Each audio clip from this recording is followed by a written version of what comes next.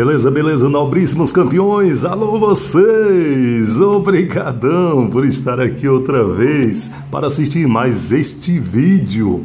Você que já é inscrito aqui do nosso canal, meu muito obrigado. Seja bem-vindo novamente. E você que talvez tenha caído de paraquedas aqui no canal, e você que não é inscrito ainda, vai assistindo o vídeo aí. Vai apreciando, porque se você gostar, e quiser se inscrever, seja muito bem-vindo, meu nobre amigo ou minha nobre amiga.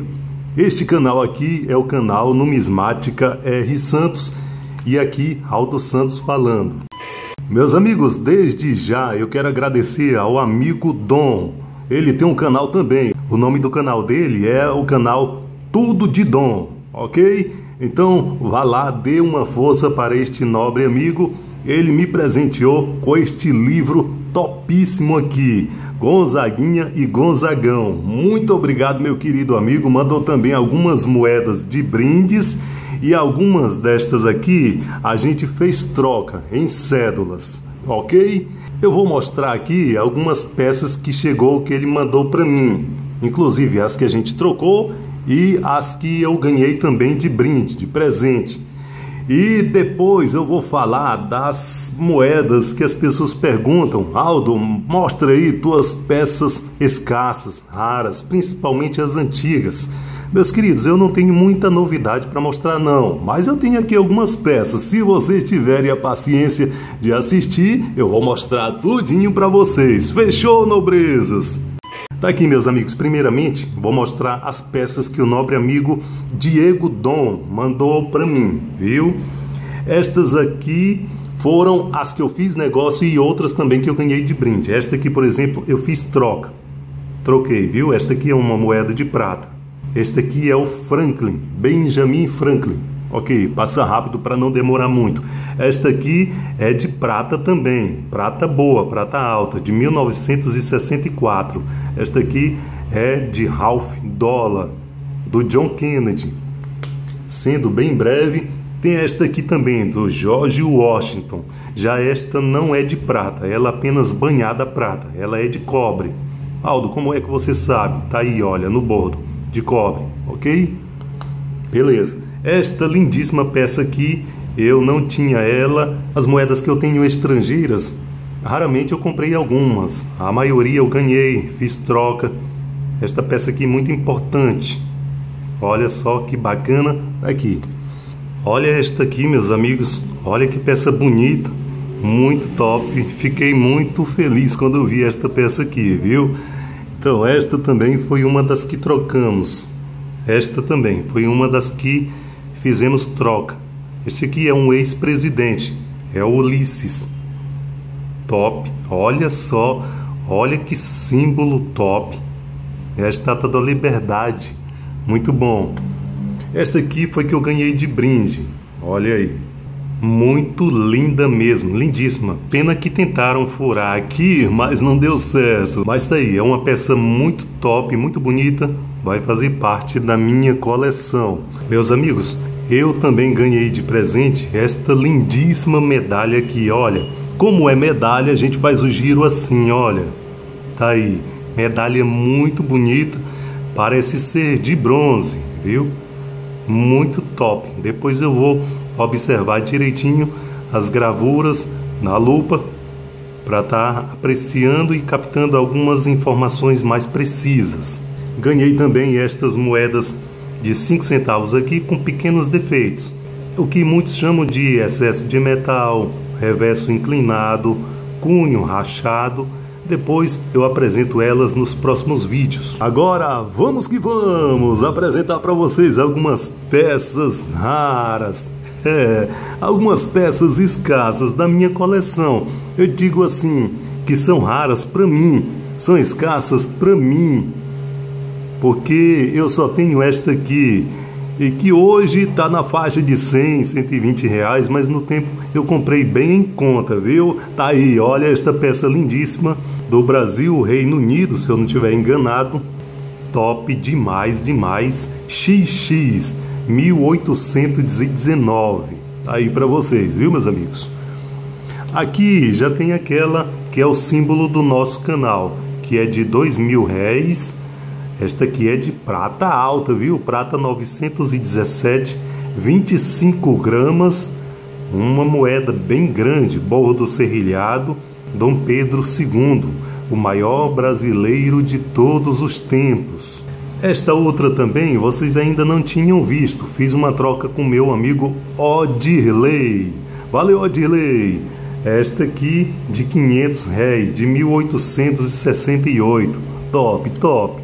Estava escassa para mim. Hoje já tenho em minha coleção. Beleza, vou deixar aqui.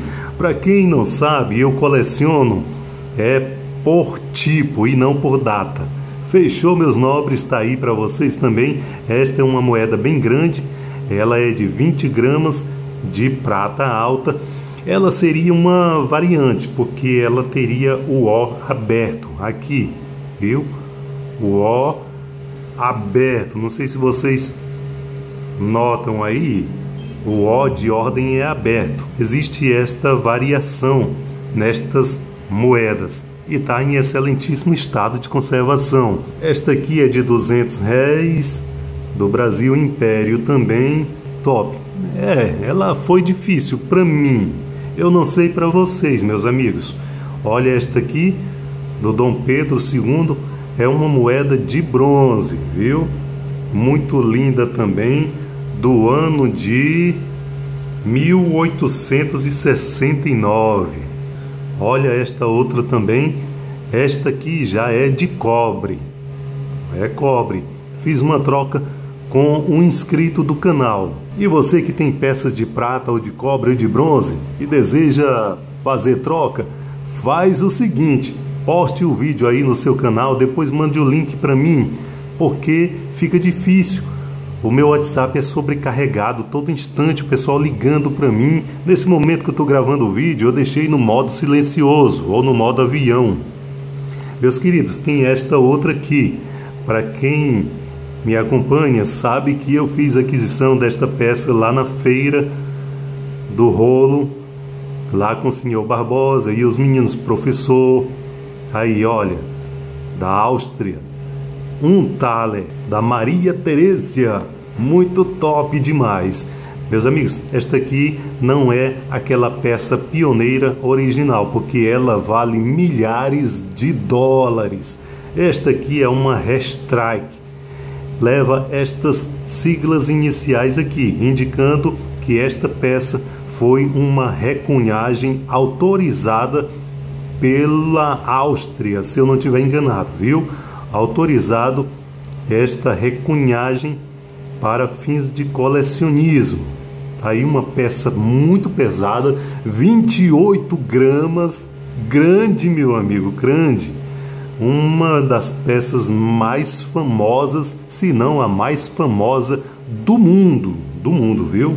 Tá aí para vocês. Bem, e estas aqui são os meus xodós. Todo mundo sabe, ou já pode já ter visto aí. Esta aqui é uma onça de prata, onça Troy, viu? Onça Troy é 31 gramas e pouco. Lindíssima, belíssima peça da rainha Elizabeth mas é que eu tenho maior apreço é por esta nobríssima peça aqui. Ela tem uma história muito bacana. Esta aqui de 960 réis. Do R de Rio de Janeiro. Nenhuma das peças de 960 réis, também chamado de patacão, nenhuma é igual à outra. Sempre tem alguma variação, seja na cunhagem, seja no recunho, alguns traços ficam indicados de que elas teriam sido timbradas ou cunhadas em cima de outras moedas, como por exemplo as de oito reais. Viu, meus amigos? Foram utilizadas também outras moedas de prata para obter assim os patacões, os 960 réis. Esta peça aqui é uma peça muito nobre. Para mim, é a mais importante da minha coleção, da minha humilde coleção. Tá aí, meus amigos, todas as moedas que eu mostrei para vocês, pelo menos as que eu mais estimo e as moedas que eu considero assim mais importantes. Meus queridos, muito obrigado pelo carinho de todos vocês de terem me acompanhado até aqui. Valeu, minhas nobrezas. Amigo Dom, muito obrigado pelo carinho, campeão. E você que ficou até essa altura do vídeo assistindo. Meu muito obrigado, forte abraço e eu vou ficando por aqui, nobrezas. Mais uma vez, abração no coração. Aldo Santos ficando por aqui. Valeu, meus queridos. Tchau.